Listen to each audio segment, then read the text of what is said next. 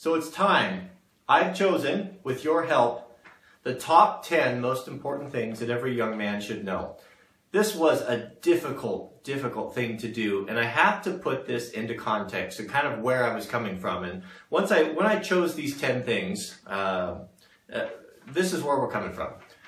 You had an 18 year old boy, and, and, he was going to leave the house, and, and you just didn't know where he was going to end up. Maybe he uh, jumps on a ship and hitchhikes, hitchhikes across Europe. Maybe he takes a job as a, on a cattle farmer. Uh, maybe he uh, goes into the city. Who knows? It, it's not. There are things that that are really important, that are almost life or death uh, type type of things. So I mean, it's how do you how do you make a list like this? So that's kind of where we're where we're coming from. Where you, he would have his bases covered. There's a lot of individual skills that that he would need to be pick up along the way. Uh, but they are not life or death. There, there, there are things that might make him more comfortable, might make him more money, uh, might make him more friends. Uh, so this isn't about um, attitudes or how to treat people, how to conduct yourself. It's about real practical skills. Those other things are equally important, but I think that that's another list.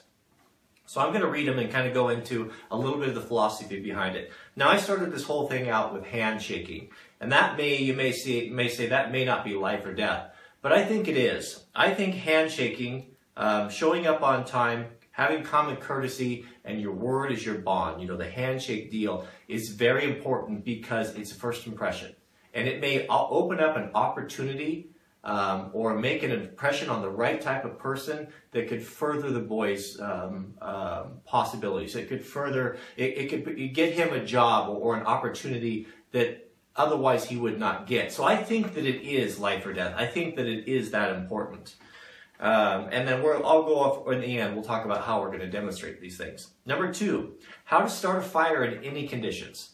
Now, I'm not talking about uh, perfect conditions, lighting a fire with uh, your Bic lighter and lighting a piece of paper or having matches at hand. I mean, really austere conditions um, to be able to light a fire uh, in, in, the wintertime uh, if you're if you're out lost. So uh, that was very important to me. How to sharpen a knife, hatchet, or axe.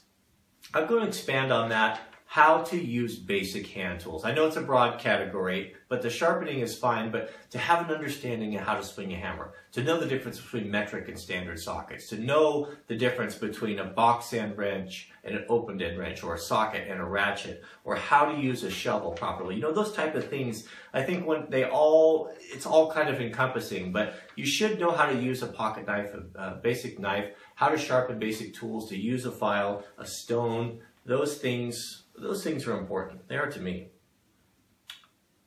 How to change basic auto maintenance. And, and that's going to break down to three things. You don't need to be an ASE certified mechanic, but you do need know, to know how to change a flat tire. You need to know how to, to jump start a battery. And, and I think you need to know how to, how change your, your oil. Basic service, oil, air filter, windshield wipers, that type of thing. I, I think that that's important as well. How to drive. Mrs. Wranglerstar and I went back and forth on this one how to drive a manual transmission. Uh, we have uh, the engine that I drive. Uh, there's very few people in our department that can drive it because the younger guys they don't, they can't drive manual transmissions. That's it's it's hard to believe, but uh, it, there's a I know a lot of them. I would mix in with that. That's important, but uh, to to drive equipment, to be able to move equipment around, to have know how it works, and small engines to know the difference between a two-stroke and a four-stroke engine, to know how things, how, how to get things to start, know what a choke is, to know what a fuel shutoff is. Once you have that basic understanding, I think that falls under the category of, of just basically understanding equipment and, and, and how it works. And driving a manual transmission, I don't, uh, I, I think that's right up in there. Life, is that life or death? Yeah, it could be. If you needed to get out of a situation and that was the only vehicle at hand, or um, you needed to have a job. You know, that would separate you if you went to get a job on a cattle ranch and you were the only guy that could drive the hay truck because none of the other guys could drive manual transmissions. That's a big advantage. Let's say you're working on a dive boat and you've got a, a compressor that's gas powered that goes down and you've got a guy down the other end. To be able to know basic understanding that this thing's flooded, this is what I do to get it going again. There's so, there's so many variants of that. How to tie knots properly. And I have five knots that I think are the most important. You may argue this, but I, you'd be well served if you could tie um, a reef a bowline, a sheet bend, a clove hitch, and a figure eight. And we'll demonstrate those as well. That covers pretty much everything. Uh, you, you'd be in good shape if you knew those five knots.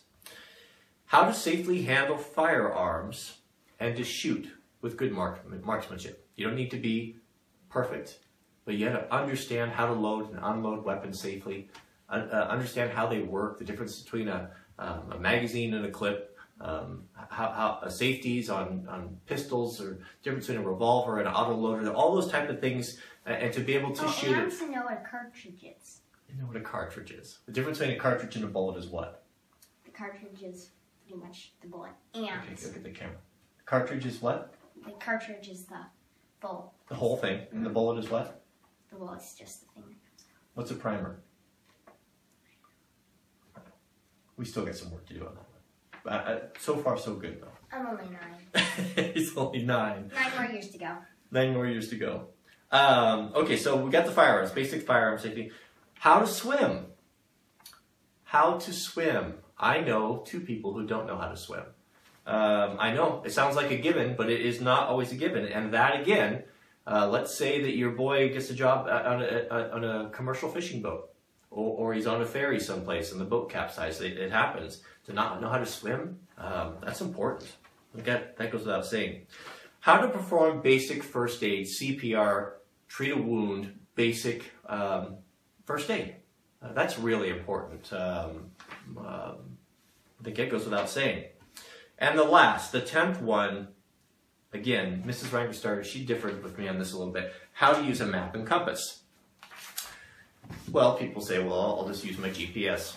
You know, it's, it's the thing, that's the thing is they don't always work and they are reliant upon batteries and, and that whole system can be turned off. So to be able to, Especially when they're coming to our house. yeah, like GPS, if you try to follow GPS to come here, you will, you will be lost. Uh, but to, to it lets you to understand uh, how to determine which way is north and, and uh, have an understanding of how to read a compass and use a compass and the lay of the land and use maps, I think is, is really, really important. So those were the list, that's the list that we came up with. And what I'm going to do uh, on all of them, I'm going to have Jack demonstrate that. Um, he's going to tie the knots. He'll do the car changing. I'll help him as much as possible.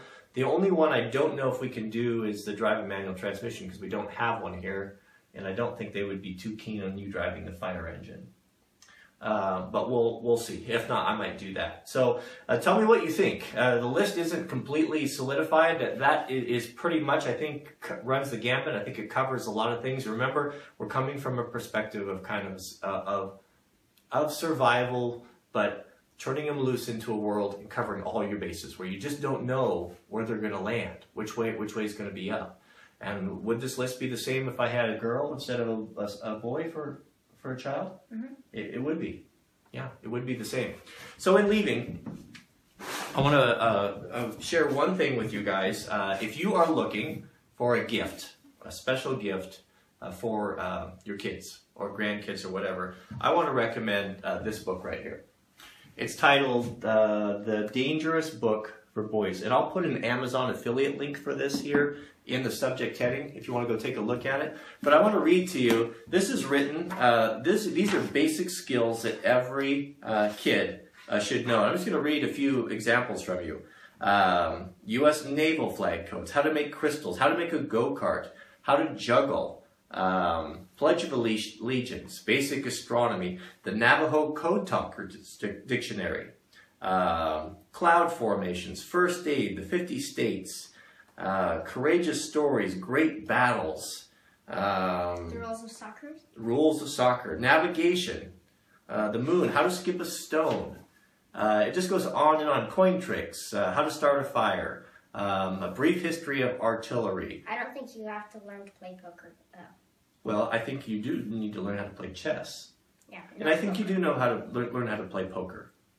Yeah, I agree. Hunting, how to sti- how to tan a hide, um, how to skin a rabbit, and how to cook a rabbit, how to grow sunflowers, um, understanding grammar, uh, common trees. I mean, it is a wonderful, wonderful book. Just an heirloom book. It's it's beautifully. I mean, we really. It's got a. It's got the marbling in the beginning and the illustrations here. Not basic knot tying.